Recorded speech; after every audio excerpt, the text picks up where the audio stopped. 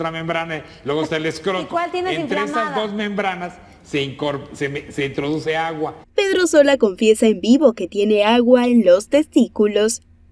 El conductor de Ventaneando empezó una nota comentando el terrible momento por el que se encuentra pasando, ya que hace varios días Sola se mostraba muy incómodo a la hora de sentarse, por lo que optó por sobresalir de su silla para que no roce sus partes íntimas.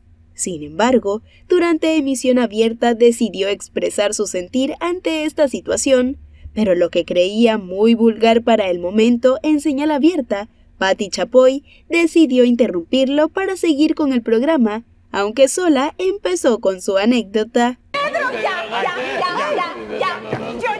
Vamos a hablar de Sergio Di De. Sergio Di Facio, que dice que estuvo enfermo, que tenía una Viejo cosa. vulgar.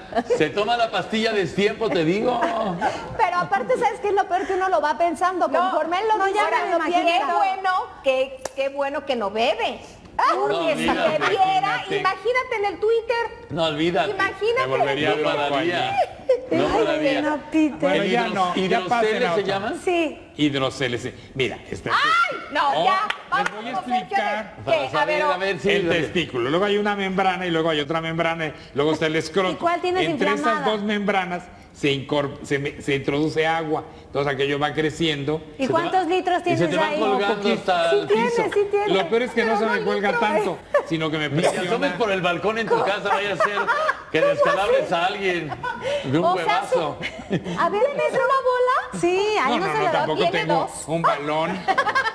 Y durante sus declaraciones, la Choco lo ventiló, confirmando las sospechas que teníamos en cuanto a su manera de sentarse tan extraña. Pero luego por eso te sientas así en la orillita. ¿Sí o no? ¿Ves? Sí, ¿Para sí o no. Al aire. Acuérdate que ya recortarle piel no, o sea, ahorita te jalan ahí y se te baja una ceja o algo como. No, no, que no le muevan ya. Ya de Ya tanta como está. operación. Exacto. Cabe destacar que Pedrito Sola hasta el momento es un buen elemento en el equipo de Ventaneando, tanto por su carisma como por sus ocurrencias. Sin embargo, en este caso, a pesar que sus compañeros lo tomen a broma, es un trance muy doloroso para la persona que lo padece, ya que con la edad y el uso, tratar el sistema reproductor es complejo.